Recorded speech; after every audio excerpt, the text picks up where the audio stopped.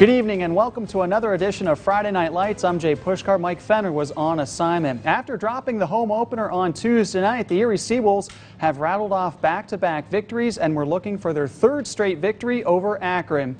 Kona Quiggle making his AA debut for the Howlers this evening. No score in the first until Jacob Robson hits the solo home run to left field as the Seawolves jump out to the early lead.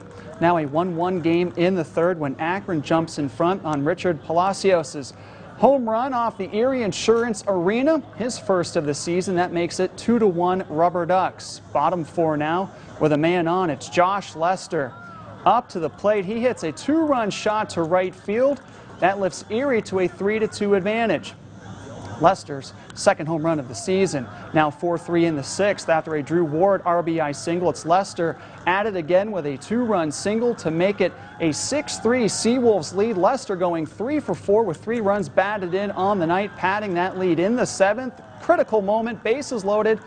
3-1 count for Angel DeJesus as he comes through with two strikeouts to get out of the bases loaded jam, keeping the lead to three. Akron would add a run in the ninth, but Erie goes on to win their third in a row. They topple Akron the final 6 to 4.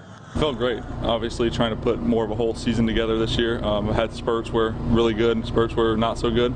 So hopefully this year, just putting together a whole what 120 games this year. So just trying to string some together now. That's a big spot. You know, he's we're in a situation there, one swing of the bat, and we're down by a run. So uh, you know, and he knows that. He's a he's a young guy. He's here to he created the jam, so we're going to let him have a chance to get out of it. Uh, and he, he got the two strikeouts, uh, made some really big pitches, and, and stayed aggressive. And uh, you know, for me, that's that's why we're here. That's player development. That's that's what it's all about. And for him to feed off that and learn from that.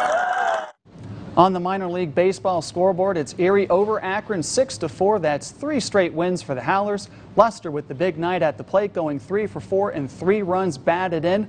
Notice Saturday's start time at UPMC Park. First pitch will be just after 4 p.m.